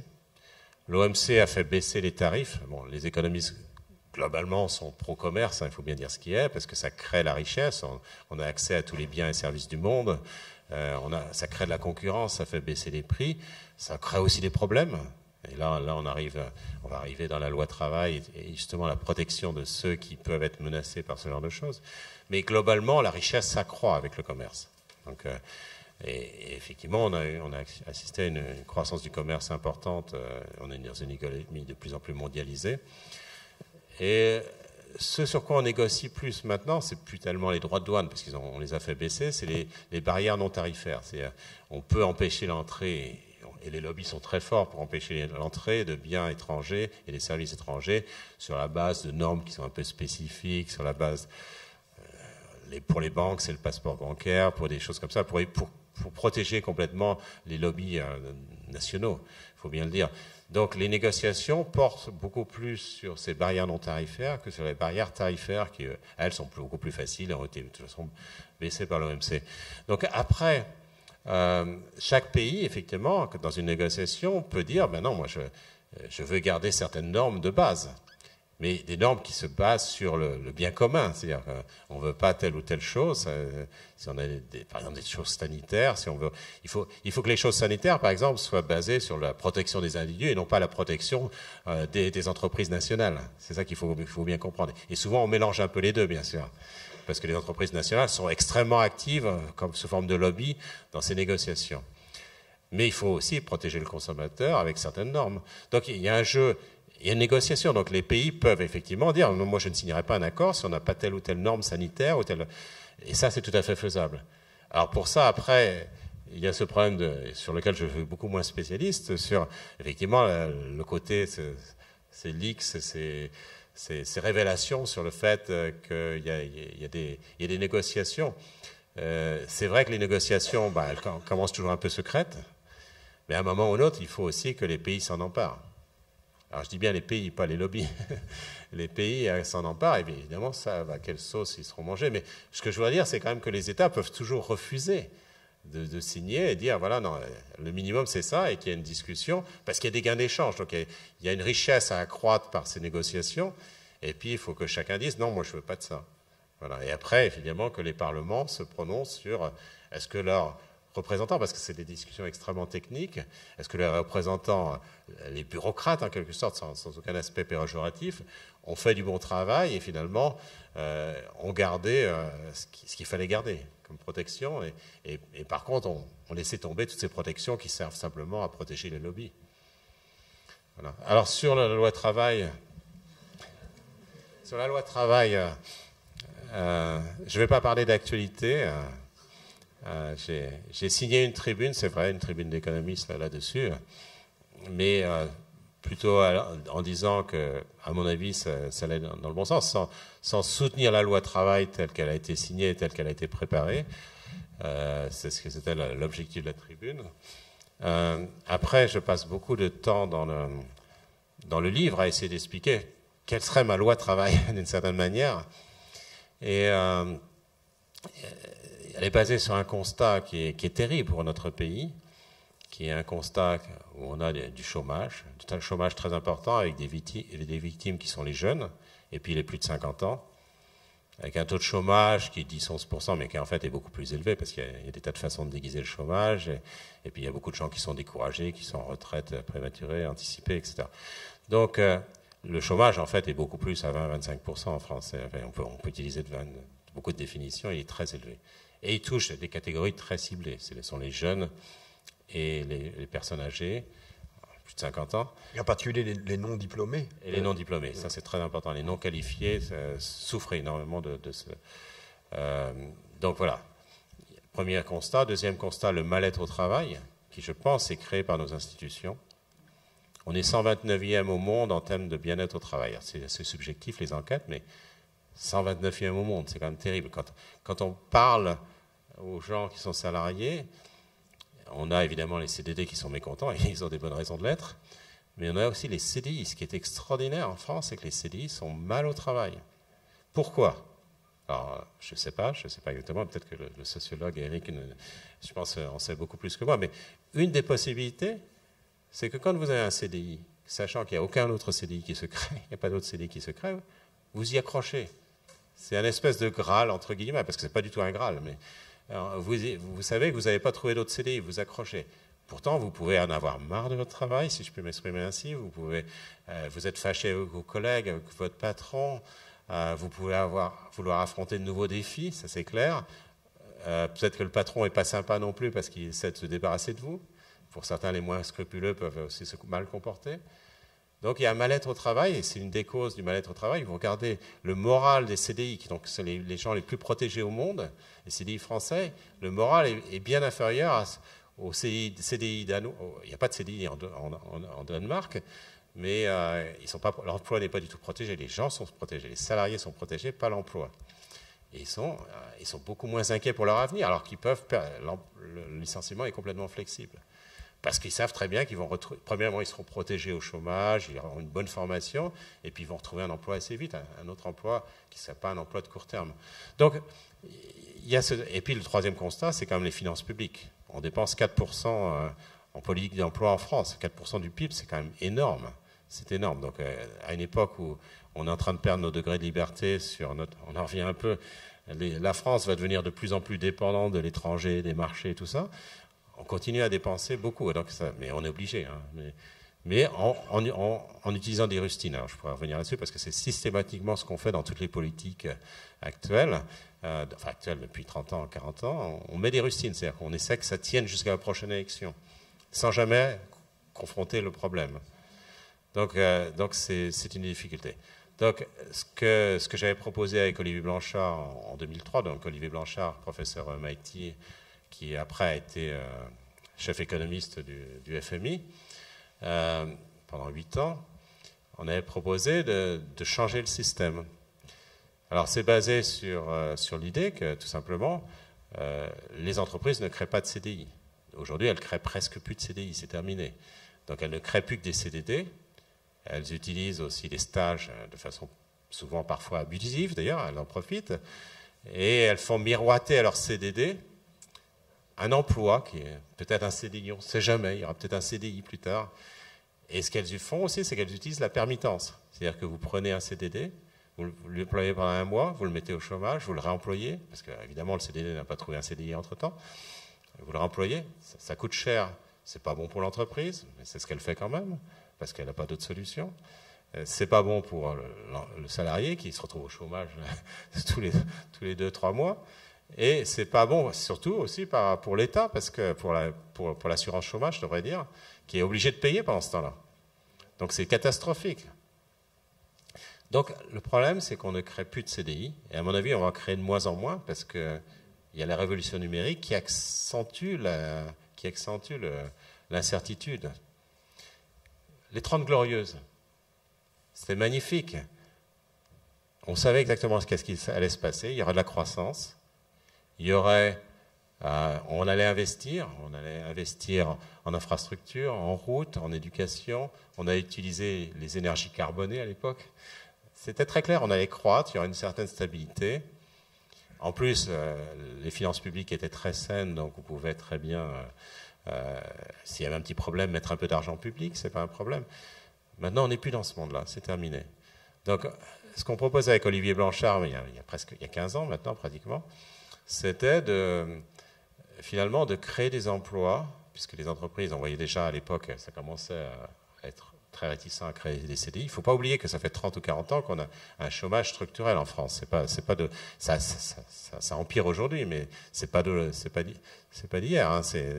On, a, on a plus de 7% depuis très très très longtemps. Et donc, ce qu'on proposait, c'est de dire encourager les entreprises, les CDD étant des mauvais emplois, parce que ça résulte dans le chômage, on ne garde pas les personnes qu'on apprécie, on les remet au chômage. On ne les forme pas parce qu'on sait que ce sont des, mouchoirs jetables, donc on ne va plus s'en servir, à moins qu'on les réemploie en permittence. Et donc, les entreprises n'ont pas beaucoup d'incitation à investir dans leur CDD. C'est un mauvais emploi. Le CDD, c'est un mauvais emploi. Donc, il faut leur donner une incitation à créer des emplois plus pérennes mais pour ça, les entreprises ne veulent pas créer ces emplois pérennes parce qu'elles ne savent pas si elles auront encore besoin de ce salarié, ce poste-là, dans 3, 4 ou 5 ans. Donc, il faut qu'il y ait une certaine flexibilité. Alors aujourd'hui, les licenciements sont, sont, sont, décidés par des juges, les prud'hommes, puis après les cours de justice. Et quelles que soient leurs compétences, quelle que soit leur honnêteté, ils n'ont pas l'information. Ils ne savent pas si cet emploi est justifié pour l'entreprise. C'est l'entreprise qui le sait, c'est le chef d'entreprise qui le sait. Il sait si cet emploi est justifié ou pas, parce qu'il connaît le poste de travail, il sait s'il a un carnet de commande, ou, si le carnet de commande, qui est faible aujourd'hui, peut se regonfler demain. Est-ce que c'est une activité d'avenir? Et donc, ce qu'on proposait avec Olivier Blanchard, c'est de simplement dire, on va faire un, un, échange. On va dire, on va créer maintenant des plus de CDD, plus de CDI, ancienne formule, je vais revenir là-dessus mais on va créer un emploi qui est l'emploi euh, à durée indéterminée, mais avec la flexibilité.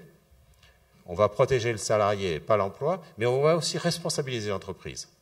Parce que quand l'entreprise licencie, il y a un double coût. Il y a un coût pour le salarié, qui varie d'ailleurs beaucoup selon le licenciement. Le salarié peut, peut retrouver de l'emploi dès le lendemain, hein, si c'est un salarié très demandé, dans une catégorie très demandée, ou peut rester au chômage pendant trois ans. Donc ça, c'est les indemnités de licenciement, et c'est normal qu'ils aient des indemnités de licenciement. Mais aussi, ce que ne paient pas actuellement les entreprises, c'est le coût pour la sécurité sociale, l'assurance chômage. Parce que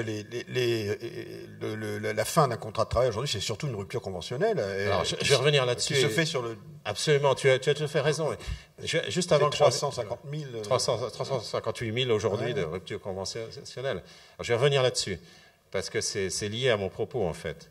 Donc, ce qu'il faut, c'est responsabiliser les entreprises. Et actuellement, on les responsabilise exactement dans le mauvais sens. En fait, c'est les entreprises qui gardent les salariés qui paient pour les entreprises qui licencient, puisqu'elles paient les cotisations sociales et l'assurance chômage. Et donc, ça va exactement dans le mauvais sens. Il faudrait que celui qui licencie, en fait, donc ce qu'on propose, c'est bête, c'est un bonus-malus, c'est-à-dire que une baisse de cotisation sociale pour ceux qui gardent leurs salariés et une augmentation de cotisation sociale pour ceux qui licencient leurs salariés. C'est ce que appelle le licencieur-payeur. Le licencieur-payeur, exactement. Comme sur le, modèle du, du, pollueur-payeur. exactement. C'est exactement la même logique. Et je crois qu'Éric a raison. Il y a, quelque chose qui, qui, est très choquant actuellement, c'est les ruptures conventionnelles. Qu'est-ce que c'est qu'une rupture conventionnelle? C'est la légalisation d'une pratique qui existait déjà avant 2008, qui est simplement les relations sociales en France sont, désastreuses, sauf quand il s'agit de se, mettre d'accord sur le, dos de la sécurité sociale.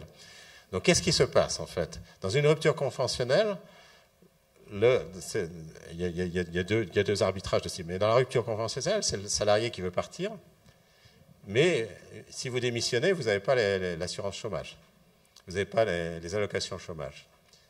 Donc vous voulez être licencié. Donc, vous allez voir votre employeur, vous dites, est-ce que vous pourriez me signer un papier? Comme quoi, ben, vous me licenciez, je vous promets, je ne vais pas vous poursuivre en justice, tout va bien se passer. Et donc, l'employeur, lui, ça ne le gêne pas du tout, parce qu'évidemment, c'est l'assurance sociale et c'est les allocations chômage qui vont payer. Et donc, c'est une collusion de l'employeur et de l'employé contre la collectivité. Et ça, ça a été légalisé par la rupture conventionnelle, qui a un succès phénoménal. C'était totalement prédictible que ça ait un succès phénoménal. Et donc, et inversement, ça se passe aussi dans l'autre sens. Quand c'est l'employeur qui veut se débarrasser du salarié, il va voir le salarié, et, donc il va transformer euh, ça en, licenciement pour faute personnelle, hein, plutôt qu'un licenciement économique, pour échapper au prud'homme. donc il y, a des arrangements entre salariés et employeurs sur le dos, en fait, euh, de la sécurité sociale. Et ça, s'il y a un bonus-malus, et c'est là que je vais en venir, s'il y a un bonus-malus, ça ne se passerait pas. Parce que dans ce cas-là, l'entreprise serait responsabilisée au coût qu'elle impose à la société, pas seulement le salarié, mais aussi à la sécurité sociale, aux allocations au chômage. Et donc, euh, ce, comportement de rupture conventionnelle disparaîtrait. On va prendre euh, une salve de questions, puisqu'il est 20, hein, peut-être euh, trois, trois questions. Bonsoir. Une première question qui est liée en fait à, la baisse des investissements étrangers. Quels sont les facteurs qui expliquent, selon vous, cette baisse-là? Et deuxième question liée, est-ce que vous pensez que le crédit d'impôt recherche est un déterminant euh, créateur de valeur économique? Alors, la baisse des investissements étrangers, ben, oui, c'est effectivement lié un peu à la confiance dans l'économie. Et je pense que, euh, par exemple, le problème du travail en France pose des problèmes vis-à-vis des étrangers. Alors après, on essaie de compenser par des subventions et des choses comme ça, mais euh, c'est vrai que c'est un peu dommage de se priver des, investissements étrangers. On a quand même les investissements dans le CAC 40 pour la raison que, je mentionnais plus tôt, qui est effectivement qu'à partir du moment où on a un déficit de la balance commerciale, on va vendre les joyaux de la couronne en quelque sorte. Donc on va vendre l'immobilier, on va vendre les actions de nos entreprises, etc. Mais et là, là, là, là, il n'y a pas de problème d'investissement étranger. Mais c'est vrai, l'investissement direct, euh, il existe encore en France quand même, parce que il existe parce que on a encore beaucoup de talent. Moi, je suis en train de, réfléchir sur un sujet que je connais très mal d'ailleurs, qui est euh, très mal en France. Euh, qui est euh, le capital risque, par exemple. Tous les capital risqueurs étrangers vous disent, mais la France, c'est génial parce que vous avez des tas de subventions au départ euh, pour monter l'entreprise et tout ça. Et puis, les ingénieurs sont vraiment super. et puis, plus généralement, il y, a, des talents et en plus, ils sont bon marché. On n'a pas besoin de les payer trop, ils sont bon marché. Et donc, la France, c'est un Eldorado. Bah, après, par contre, quand l'entreprise se développe et marche bien, bah, ça, je le mettrais peut-être en, Californie. Ça, c'est autre chose. Mais euh, on a en France des talents. Alors, sur le crédit d'impôt recherche, je dirais, c'est un peu. C'est vrai que c'est. C'est quelque chose qui permet de garder la recherche en France, parce que c'est vrai que les entreprises investissent très très peu en recherche. C'est très généreux aussi, ça peut être extrêmement généreux. Euh, et donc, c'est un peu une rustine qu'on a mis. C'est encore une rustine, c'est-à-dire que euh, les entreprises en profitent parce qu'il y a des taux de, subvention qui sont très élevés. Et c'est ce qui a permis de garder quand même un peu de recherche, parce qu'on investit beaucoup trop. On vit dans le court terme en France. On vit beaucoup dans le court terme. Il y a très peu d'investissements, y compris dans la recherche, que ce soit la recherche publique et la recherche privée. Et c'est quelque chose qui inquiète. Donc, euh, j'aurais deux réactions. D'une part, c'est très généreux. D'autre part, ben, si on ne change pas les choses, ben, c'est une rustine qu'on doit garder. Et donc, euh, voilà, je suis un peu gêné à répondre à cette question, mais encore une fois, je ne suis pas spécialiste de la fiscalité. Il y a des bien meilleurs spécialistes que moi. C'est un peu ma première réaction à votre question. Bonsoir, Monsieur Tirole. moi, je voudrais vous poser une question euh, qui euh, n'est peut-être pas. Je, je, pense. Ce que je pense, je ne le dirai pas, mais vous semblez penser que les Allemands, avec un million ou un million et demi euh, de travailleurs euh, émigrés, euh, par rapport aux études qui ont été faites avec les Cubains, ce serait merveilleux, de, nous aussi en France, de voir venir un million, deux millions ou dix millions de personnes étrangères. C'est-à-dire là, c'est plutôt de la sociologie, on n'est plus dans l'économie, je pense, mais je pense que quand même les peuples peuvent à un moment donné euh, refuser ce, schéma alors, euh, euh, effectivement, c'est une question importante, mais je crois qu'Éric va être plus compétent que moi là-dessus. Mais je voudrais quand même dire un mot sur le plan économique.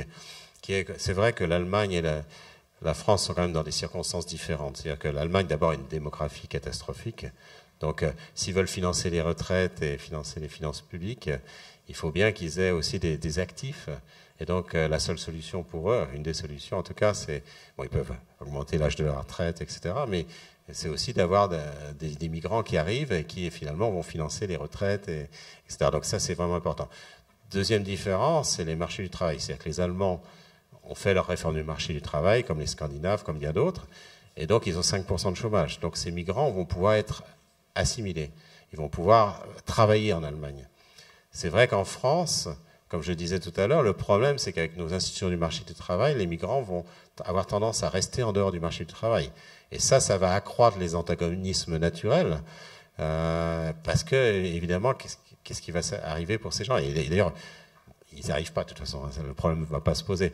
Après, il y a la question sociologique de la vitesse optimale de migration. C'est vrai qu'on préfère en général pouvoir intégrer, mais là, là je, parle sous le contrôle d'Éric parce qu'il connaît 100 fois mieux ces choses que moi. Mais c'est vrai qu'on veut, on veut que l'intégration se passe bien. Et s'il y a vraiment un choc trop important, ça peut poser des problèmes sociaux.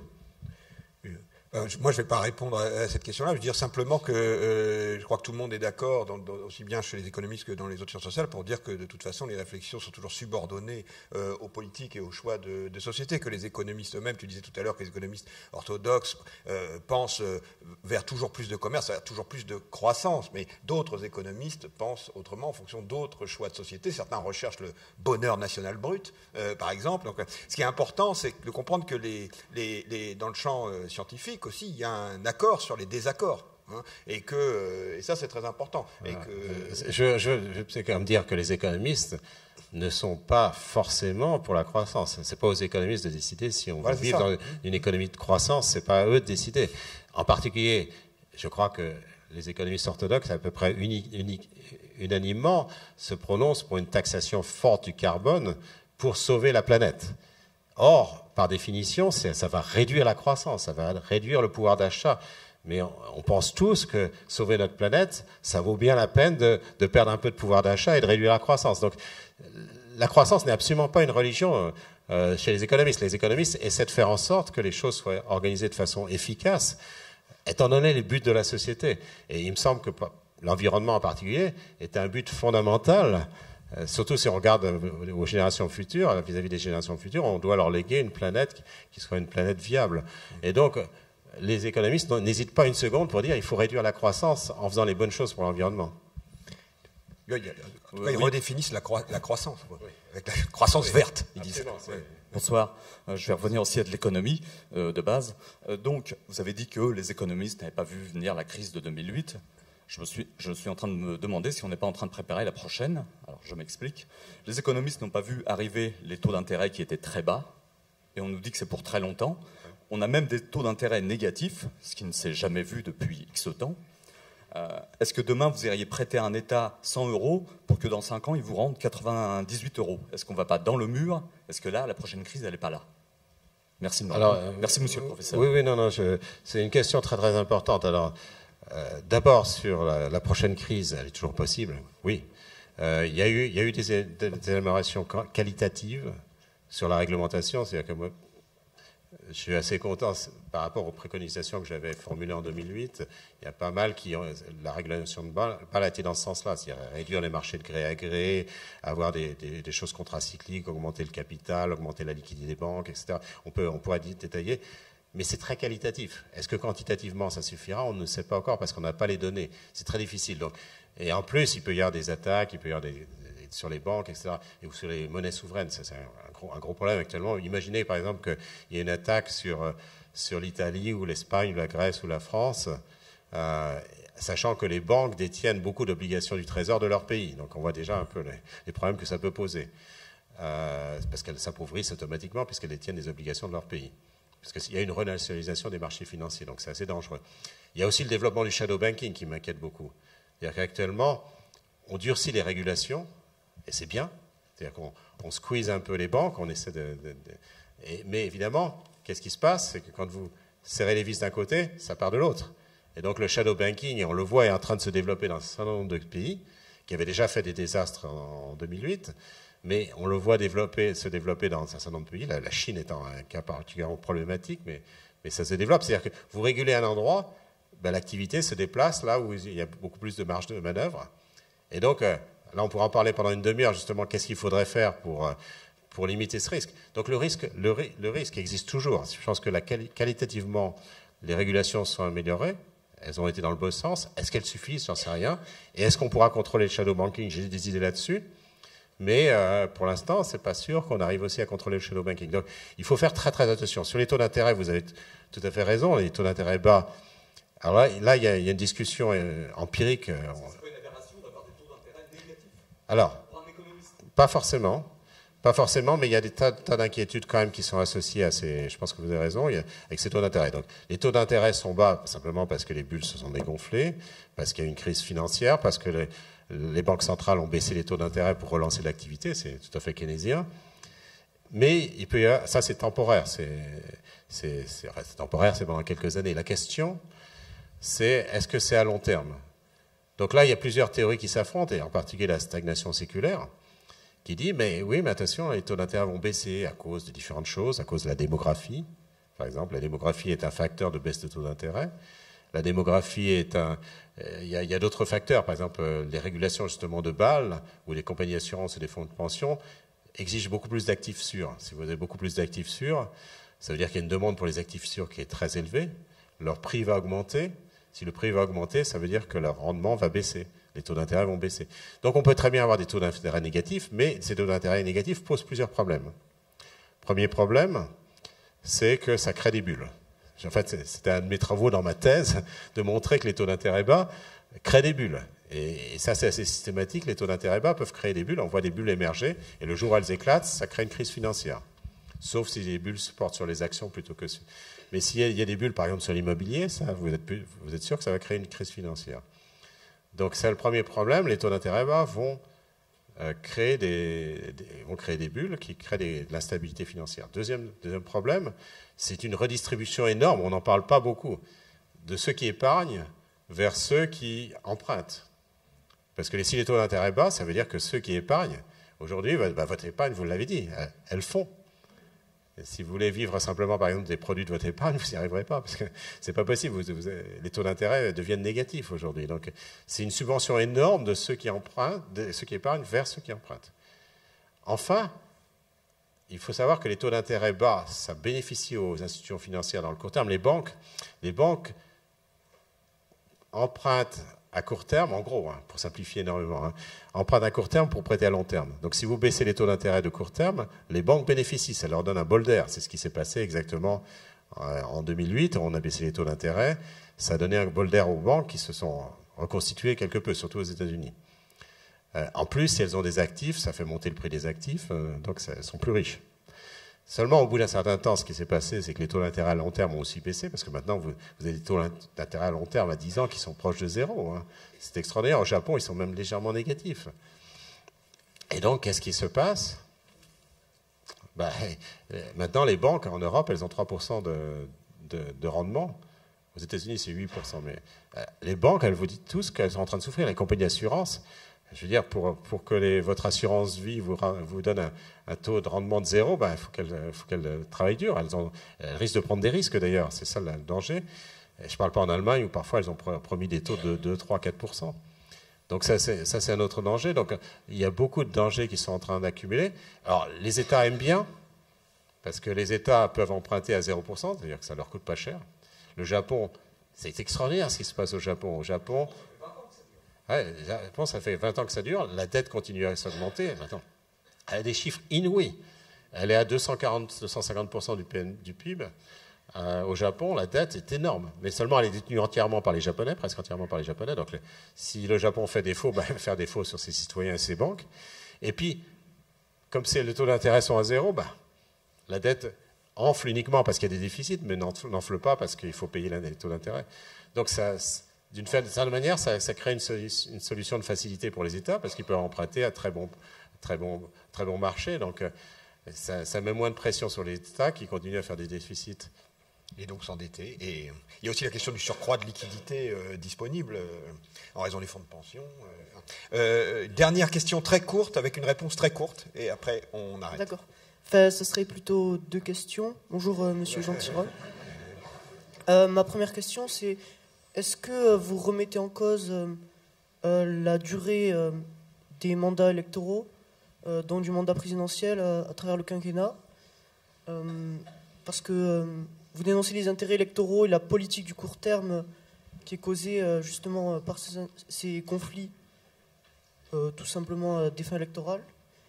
Et ma deuxième question, c'est, ou plutôt ma remarque, c'est votre manque parfois de, de nuances et votre manichéisme quant à l'Allemagne et aux États-Unis. Euh, vous parlez du taux de chômage qui est bas en Allemagne, mais euh, vous n'êtes pas sans savoir que justement euh, la plupart des actifs allemands ont un pouvoir d'achat plus faible et sont aussi plus exploités, si on peut dire. Donc est-ce que vous prenez l'exploitation généralisée ou pour le travail, pour partager le travail Non mais c'est une question, c'est une question intéressante et je pense que. attendez, la première question c'était sur? La limitation des mandats électoraux. Ah oui, non, ça je, le laisse à Eric. Euh. mais c'est vrai, c'est vrai que c'est une question importante, c'est-à-dire que euh, le court-termisme, effectivement, dû aux élections, est, un gros problème pour nos sociétés. Euh, d'un autre côté, effectivement, si on garde quelqu'un pendant très longtemps, ben, on n'a plus le choix pendant très longtemps si, la personne s'avère n'être pas la bonne. Mais c'est vrai que du coup, on voit assez peu de décisions courageuses. Moi, quand je, parle effectivement du court-termisme des politiques, beaucoup de gens qui me disent, mais Mitran, en 1981, avait euh, aboli la peine de mort alors qu'il y avait une grosse majorité de la population qui était en faveur de la peine de mort. Donc c'est une décision courageuse. Aller contre l'électorat, c'est courageux. Je dirais, mais attention, euh, c'était en début de septennat. C'est ce qui, correspond un peu à ce que vous dites. Mais d'un autre côté, bon, le septennat, c'est long aussi. Donc, on ne sait pas trop hein, quel, est, quel, est, le juste milieu de ce côté-là. Mais ce n'est pas, pas, mon domaine. Je voudrais répondre sur l'Allemagne parce que c'est vraiment important on se moque souvent des petits boulots à l'allemande, mais je dirais deux choses. La première, c'est que les petits boulots en France, franchement, on a une société complètement duale. Les jeunes vont de CDD en emploi aidé, en chômage, pendant cinq ans, parfois euh, même plus. Enfin, c'est devient, ils n'ont pas accès au logement? Parce que si, vous êtes, si vous appelez pour avoir un logement et que vous dites que vous êtes en CDD ou si vous êtes au chômage, vous pouvez toujours. Euh, alors on pourrait parler pendant, pendant trois heures du logement, du problème du logement aussi, parce que c'est très important. Mais disons qu'on a une société complètement duale en France déjà. Donc, euh, elle est là, l'inégalité, elle est là. L'inégalité au travail, l'inégalité au logement, l'inégalité dans beaucoup d'autres domaines, elle est déjà là en France. Donc se moquer des Allemands, moi je, refuse de me moquer des Allemands parce que c'est vrai qu'il y a des boulots qui sont moins bien payés. Mais c'est vrai aussi que, je dirais, il y a une question de dignité. Avoir un, avoir un emploi, je crois que la plupart des gens veulent avoir un emploi plutôt que d'être au chômage. Et ça m'a amené au SMIC, parce que vous allez dire, oui, mais c'est vrai que si vous gagnez 800 euros au lieu de 1100 euros, ça fait beaucoup moins. Moi, je dirais, en France, on a, préféré la solution du chômage en ayant le SMIC le plus élevé du monde, pratiquement, alors, je comprends les gens qui veulent effectivement, le SMIC, c'est pas grand-chose. Je comprends qu'ils aient besoin d'argent, qu'ils demandent de l'argent. Mais il faut se poser la question est-ce qu'on veut qu'ils soient au chômage Ou est-ce qu'on veut qu'il sera un emploi à 800 euros et que cet emploi soit complété de manière fiscale pour qu'ils aient un revenu qui soit correct et c'est un choix de société. Moi, je pense que quelqu'un qui a sa dignité dans un emploi qui est utile à la société, c'est beaucoup mieux qu'un chômeur. Et donc, ma position, c'est de ne pas me moquer euh, de ceux qui ont fait des réformes, qui ont éliminé le chômage. Et, en plus, ces gens-là coûtent moins à la société, parce qu'ils ont un emploi, ils, apportent, ils apportent une valeur à la société.